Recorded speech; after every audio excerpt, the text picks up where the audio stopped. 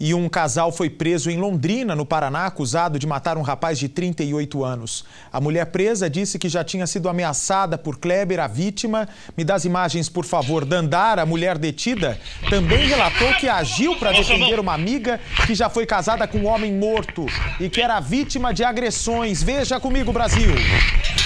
Policiais foram às ruas logo no início da manhã. As imagens mostram a ação da polícia em uma das casas onde foram cumpridos mandados de prisão. Todo mundo no canto lá, vai, vai. No canto.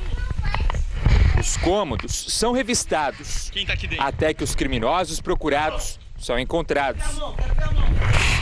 Vai, mostra. Ao todo foram cumpridos 11 mandados de prisão e busca e apreensão.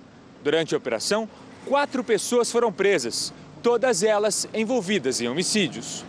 Entre elas, Dandara Caroline da Luz e Marcos Felipe Castro, acusados de participarem da morte de Kleber Henrique de Carvalho, morto no dia 2 de dezembro no Cafezal, zona sul de Londrina. O Kleber, ele, um- uma hora antes dele ser assassinado ali no, no campo ali do Cafezal 2, ele tinha discutido com, a- com essa moça, né, a a Dandara, e, uma, e a ex-mulher dele, né, que elas estariam juntas. E né, ele ameaçava elas, inclusive com, com, arma de, com arma de fogo, agrediu elas, elas têm BO registrado por violência doméstica, e, a, e aí teria, isso poderia ter motivado A polícia também prendeu Vitor Leandro Ferraz dos Santos, acusado de homicídio.